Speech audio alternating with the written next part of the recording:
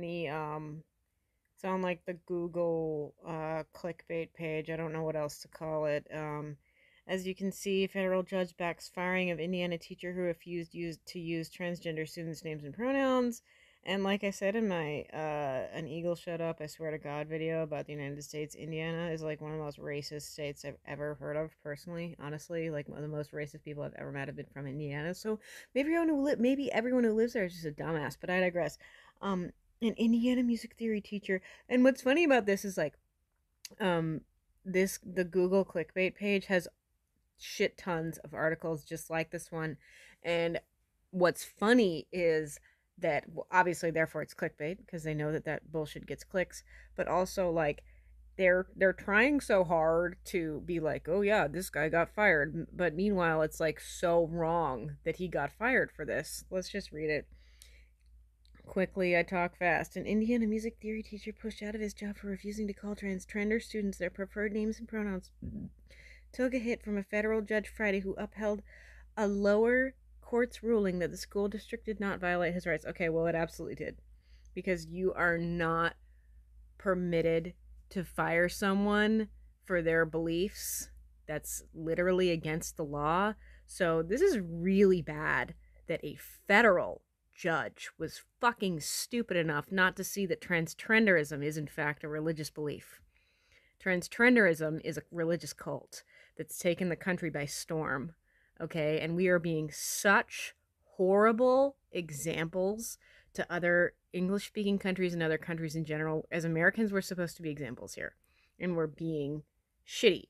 Okay. Um, former high school teacher Klug sued the school district alleging religious discrimination after he cited his personal religious convictions for refusing to abide by the name and pronoun policy, which is religious the name and pronoun policy is transgender religion, um, transgender uh, beliefs, right? Opting to address transgender students by their last names instead. Okay, well that's fair. Also, like I, I I can't remember any specific instance, but I know when I was in school, like like kids would try to switch spots when when a sub showed up, or they would even say stupid shit like um I know kids had had nicknames when I was in school. Like maybe they had nicknames with their friends, and they would sometimes be like to their to the teacher. They'd be like, "Yeah, well, I want you to call me. I want you to call me Blaze because that's my nickname." And the teacher would be like, "No, I'm I'm not gonna call you that. Your name is, you know, Kevin. I'm gonna call you Kevin. That's your legal name." Um, school district after enacting the policy in 2017. Wow initially agreed to let this guy use last names to address students instead. Okay. Um gender identity can be kept from parents avoiding preferred pronouns can cause death. That is some horseshit. And uh look how look how look what great um look what great like grooming material this is like kids i don't remember what i was watching oh it was uh i was watching deprogrammer i was watching her get interviewed by whose body is it? And she was saying how kids are really drawn to bright colors they are. You know these really bright rainbow colors are very appealing to children so they see them and they're like oh cool and then they then they want to listen right? So it's it's total and complete fucking grooming behavior. It's just like these child molesters who are like, hey, do you want some candy? Like, okay. Some students allege the move created an uncomfortable classroom experience and singled out students who identified as transgender and reported their concerns. What absolute toddlers, honestly. Like, you, oh my god. Okay. Um, there was a kid when I went to school and he lied that he had legally changed his last name. And he actually got away with it because he, he did he, he lied that he had legally changed his first and last name and he got away with it because he actually did it very like skillfully. He would say like I actually legally changed my name and like the school district like when I was um this was a kid like that had gone to this school for a while though, but he was he would say they just haven't gotten like my name has not been officially changed in the school registry yet. But he was going by a normal name. It wasn't like um he was trying to be called fucking Blaze or whatever the fuck. But it was literally just a normal name. Like his name was one thing and he went by a different and then he was going by a different name. Like anyway.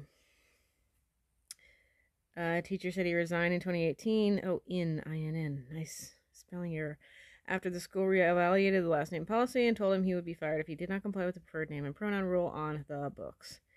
He sued with the help of conservation group Alliance Defending Freedom a year later, alleging workplace discrimination. Okay, well, it is workplace discrimination completely and totally. And like, why, why are why are these children like being being um placated here? Why are we placating these delusional children who want to go by different names? And like, is it is it really that big of a fucking deal?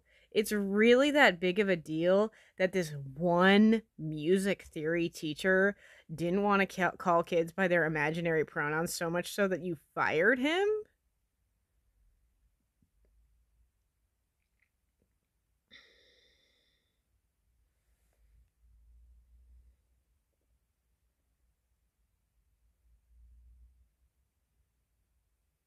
Chicago based 7th U.S. Circuit Court of Appeals ruled Friday that his religious convictions on the issue disrupted classroom operations.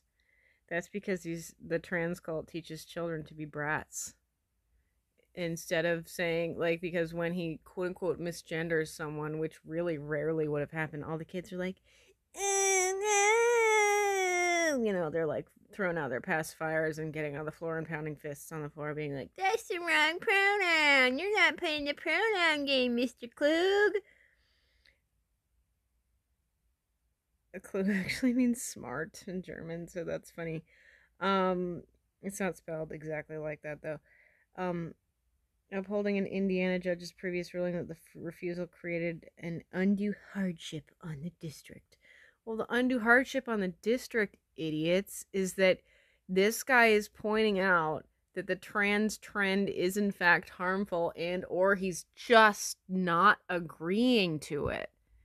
And instead of listening to that and being like, "Hey dude, what are your concerns?" they're like, "Okay, we're going to fire you."